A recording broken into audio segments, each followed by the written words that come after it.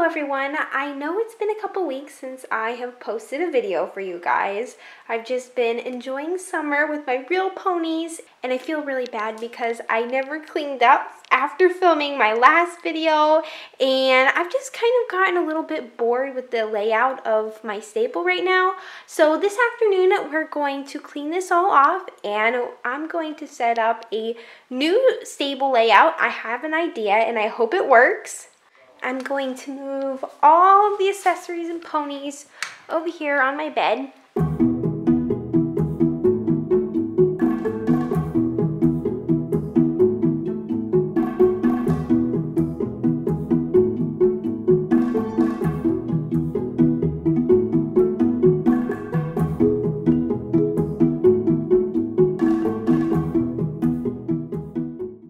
Everyone, here's the big change. I've never put my barn like this before ever on this table and I'm really excited about it because I can sit back here in my chair and film from this angle. I've never did it before because it kind of makes for paddocks squished up against the wall.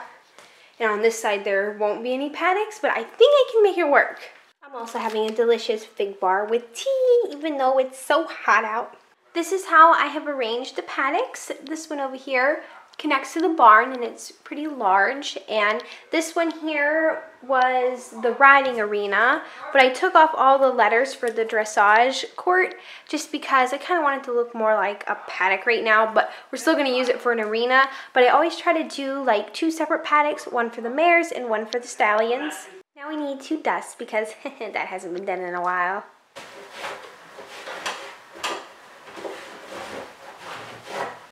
it looks better now. Of course, it's still kind of wet. This roof is very hard to clean. All the little dust and dirt just gets packed in these cracks and then I can't get it out.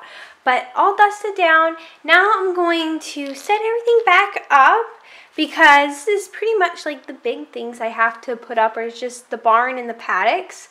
So now I'm gonna put all the accessories back up and we'll do a little barn tour. All right, I am finished. I really like it all freshened up and I'm going to give you a little tour.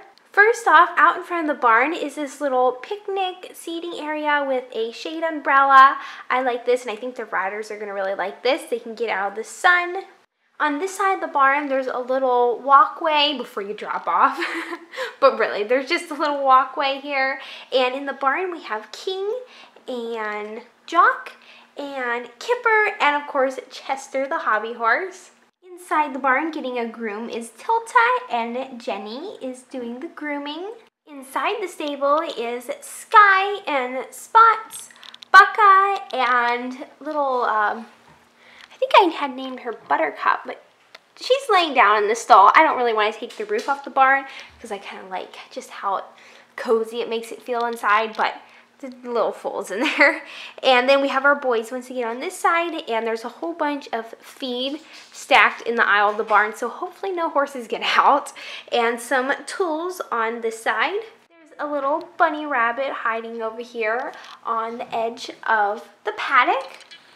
I do not remember what I named this pony. I will have to look back and see, but she's very pretty and she's enjoying paddock time.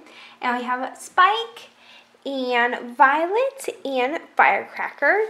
And then there's just some halters on this fence post. On this side of the barn, there's just a wheelbarrow for cleaning up and some decorations. Here we have Emily, and she is riding Pearl, but Pearl is distracted with her friend Violet. And back here, I decided to put the wash rack. So there's just a whole bunch of shampoo and like just washing things and a little squirrel exploring. So that's our new spot for that. Out in our second large paddock, we have Clyde, Silver, and Fireball. And here's our haystack. I suppose it's kind of unrealistic having this here because in real life, horses would just go nom nom nom. That's what mine did when it was too close to the fence and we even had it out a little ways, but it just stacks better and it doesn't all fall down. So this is where the pretend bales of hay are gonna go. And we have our barn cat. And lastly, we have Teresa riding Bella. And this is like our trail that goes off into the forest where you can go trail ride. Here, this is my second Schleich table. It's a little smaller. This is where Teresa lives yes, she has a whole table to herself for all of her things. we have the house, the little stable where Teresa has her Shetland ponies, and there's just a whole bunch of barn accessories on the side of the barn. And we also have their trailer and Teresa's Jeep, and we have the tack shop.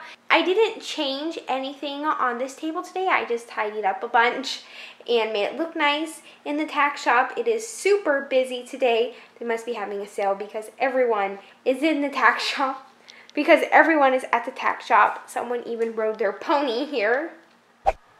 So that is what I've accomplished. I do have a story idea for a Schleich little movie, but I have to film it outside and it's really hot out today, so I wasn't going to do that. So we got this done instead and we freshened up Silver Star Stables. Thank you for joining me and I will see you in my next video. Bye!